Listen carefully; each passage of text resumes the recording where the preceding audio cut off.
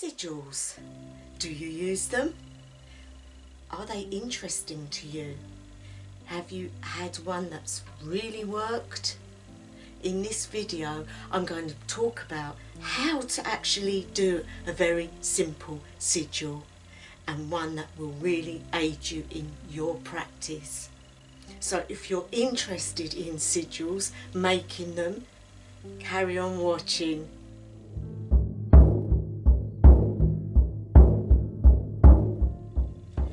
Hi guys, it's Tova and I am excited really. I want to show you how I do sigils. And yes as a Norse practitioner um, we don't um, always do sigils, we use runes a lot. But you can still use sigils, they're very good and very easy to do. And you will see results from it if you do them the right way. So first of all I want to talk about what is a sigil? Well, a sigil is a magical item which has your intent within it, a very positive intent. You must never say, I want or I need. It has to be a positive statement. In other words, you've already got it. So like for example, if you was to say, I need money now. That is not you saying, I really am desperate. It is actually saying, I'm never going to get it. I'm never going to receive it. And so what you would need to say instead is, this money is abundant. I am ecstatic in the money the money has solved my issues. And so as you can see, you are talking about the present, but not in a negative way. And that is the first thing to get in your minds. There are rules. Right, number one, write in the present text. And number two, never use I want. Number three, be realistic. Number four, be precise in what you ask for in around seven words. You don't want too much, just enough to make a sentence. The word sigil in Latin means seal, your seal of approval. If you look, signature was also relevant, comes from that word. So we know that seal and signature it's all the same thing when you write your signature you are putting your intent on whatever it is you're signing you're saying I agree it's in the present text you're agreeing to a financial thing or a job or whatever it is you're signing so again it is a form of a sigil and it can be long term or short term. So that's very interesting when you look at it that way. In the old days, they would seal their letters not just with a signature but with wax and a stamp. You're putting your stamp. So it's really good. I find it very, very interesting. All you need for this sort of thing is yourself in a calm mood nice lighting, nice quietness, a small piece of paper and a normal pen will do. Yes, you could use the scroll like I've done in other things, but to be honest, a pen will be suffice and you want it to be as simple as possible. Now I like incense, so I'm going to light an incense stick and this is Dragon's Blood Protection. I do like to surround myself in lovely fragrances and don't want to go out. right, okay. So, I'm going to put that in here and we've got some incense. Now I have a bell guys, you don't have to but it's something I like to do it to sort of make my intent known. So I will ring the bell to say this session has started and we go like that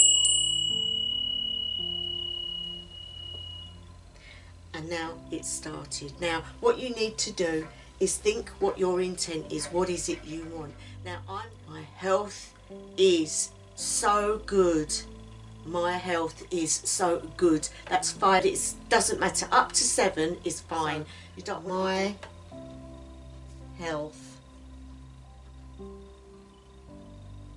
is so good. Right. Now that would be because you need your health improving, but you don't want to say I need my health to improve because that is you saying, I don't think it will.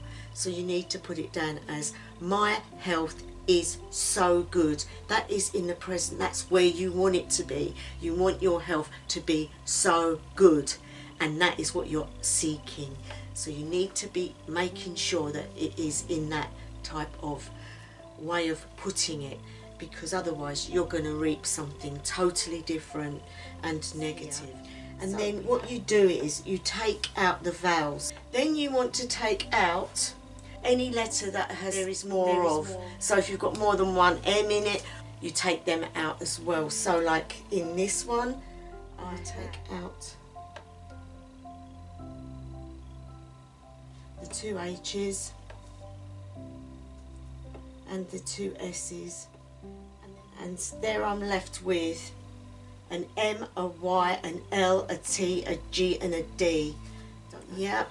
So what you then need to do is make a pattern out of the letters and while you're doing it just think about how healthy you are be thankful for what you are for what you have but also see yourself really doing the things you want to be doing like if you want to be more active or if you want to be eating more better. better. You think about those things while you are making a pattern and you just go with the flow and so you will be left with a pattern. Now you can be very artistic with this and spend lots of time adding little bits like arrows and circles where you want to see a circle or two. Um, and it's where you feel drawn at the end of the day. And whatever you do is not going to ruin it. So just do what you feel. And if you like what you see when you've finished it you do a circle or a square. Some people do a square some people do a circle. And it doesn't have to be perfect guys. And you are left with your sigil. Now that is your sigil. And you can take this piece of paper, guys. Some people like to cut them out. Some people just like to leave them on the piece of paper that they did it on. But I'm going to cut this out. So, okay. And there you have your sigil. And it's for you. This is for you. This is going to be the thing that does what you're asking. Now there are three types, if not more, of sigils. The first one is destruction sigil. It's the way it is charged is by setting it alight. If you're going to do it that way, make sure you've got a container big enough. I burn things in here, but I have a great big um, cauldron, so it's no problem for me. So that would be a, a destruction one. The next um, type of sigil is a temporary sigil, and that one will be drawn on your arm or any other part of you, and it will wear off. And that will take into account if you've got a candle and you want to put a sigil on the candle and you carve it in, it will gradually melt with the wax. So, and then you have your permanent sigils, which are done like this, but then added to places that are hidden or put in cupboards or behind walls or in picture frames or outside under the doormat. These sigils can be made also out of pottery and clay and wood and things like that, even metals. You can do these and they will stay permanent and they would need recharging every now and then to keep it going. But if it was something like protection, you could do a sigil which would stay outside around the house or you can use it as a piece of jewellery or something that you can wear. You can even put it in your shoes, you can carve it into a shoe underneath. So there's so many things you can do with sigils and sigils guys really do work. I love sigils and you can be very creative with them. You can colour them in, spend lots of time doing them. But today, as I'm just showing you how to do it, it's very simple. Okay guys, so the next part of this ritual to burn the sigil. Now, to make the intent perfect, you need to roll it up and while you're rolling it, keep saying it over and over in your own time. And you've got that then and you want to just burn it. So now, as it's burning, you want to beat your drum or you want to sit there and let your mind go. Don't be in control of it because at the end of the day, it is your higher self which is sending that power. So we're going to set it alight. And beat the drum.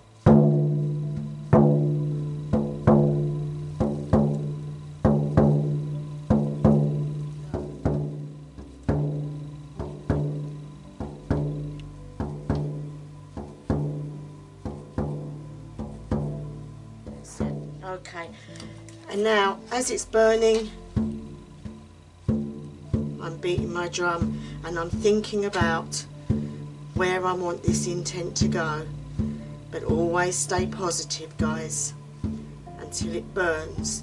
Now, this is the destructive one. Let yourself go vacant. Let your inner self, your power, let your higher energy send it And there you go, it's going. And believe it. And once it is gone, it's done. So there you go guys. That was difficult to burn and that is because you are going against an energy that might be causing you the problem that is what you're trying to cure. So that's a good sign. It means that your energy is actually working. It's actually doing something. So don't be surprised if you have trouble keeping it burning. Now if you want to do a sigil on your arm or your leg or somewhere, you just do the same thing. So you would get your arm and get some eyeliner or something like that and just put it on there how you drew it on the paper on your arm And when it's done you keep it on for maybe half a day or till you have a bath you know so it would only be for a day but it would be temporary. But also you can do your own sigils in clay and things like that.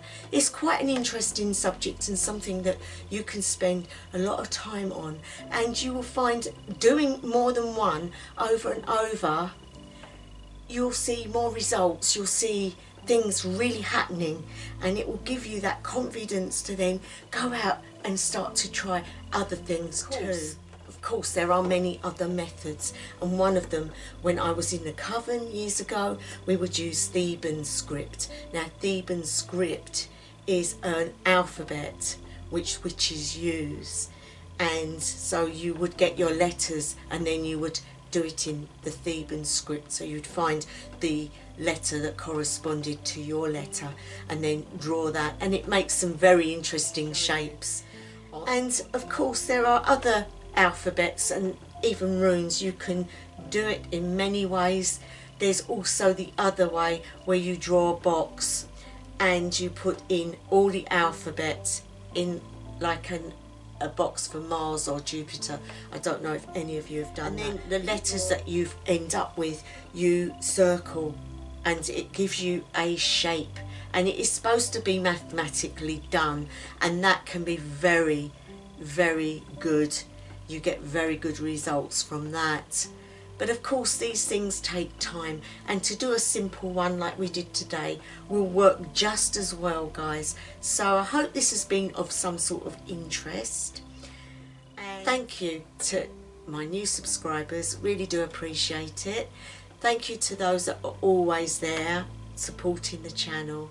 I really do appreciate you too guys and hope that this has helped you and given you a little bit more confidence in how to do sigils. I'm going to leave it there. Wherever you are, whatever time of day, night or evening it may be, I wish you the best ever. House of Elaine.